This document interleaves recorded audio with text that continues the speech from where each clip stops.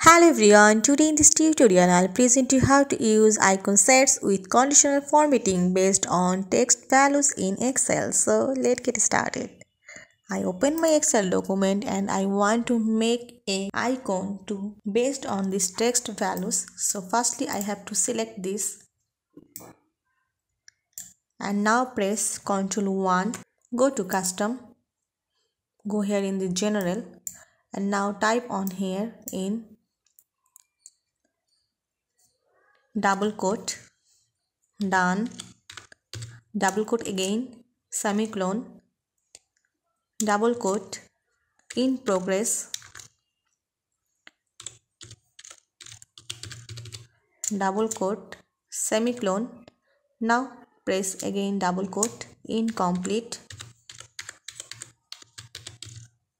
Double quote. And now press ok now select this all table and now go to conditional formatting.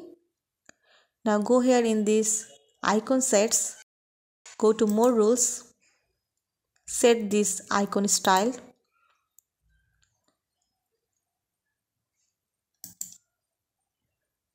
This is the three logical E format. Go to type in number and now go here in this value is 1 and value is 0 now press ok. Now see this is the icon i have to set with this conditional formatting.